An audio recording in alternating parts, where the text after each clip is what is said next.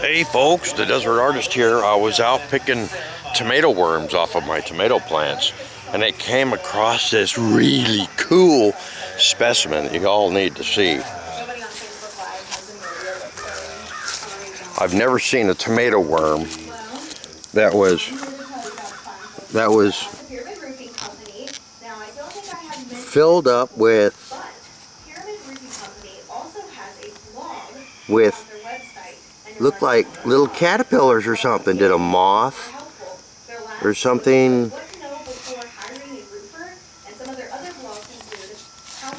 I don't know what happened. It's really cool. Sorry, I'm trying to figure out how to get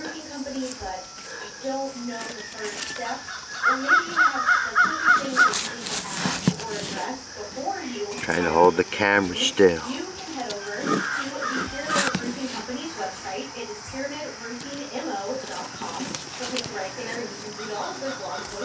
So this is, he looks like he's infested with something. And they look like larvae. And he's young.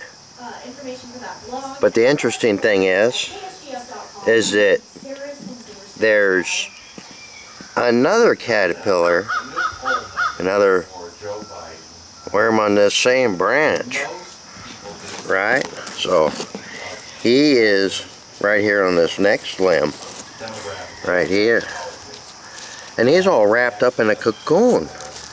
I never knew that these tomato worms, well, I guess he's not a tomato worm because he doesn't have a horn on him. so here's another another pest of your tomato plant uh, that you may not see because he wraps himself up in this leaves. And you see how this, he was pulling it all together? Did you see how that worked? Right, he has, he has it all worked up together. Uh, so he's all freaked out now. He's like, huh, sunshine, oh no. So, I don't know what kind of caterpillar this is, but I do know that that's a tomato hornworm. And he, he looks like he's moving around now. His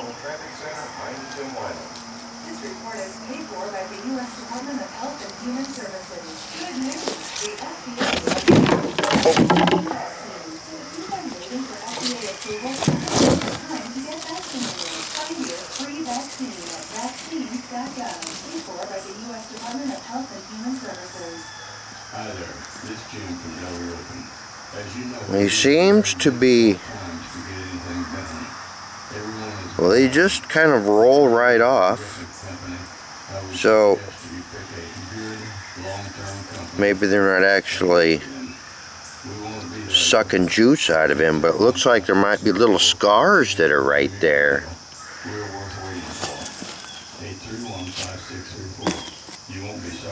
Let me get my fat monkey finger out of the way here. So,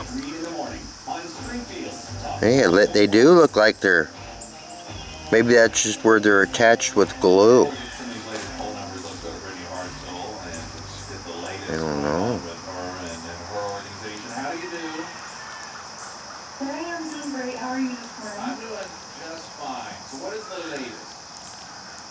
Like, seem to come off pretty easy.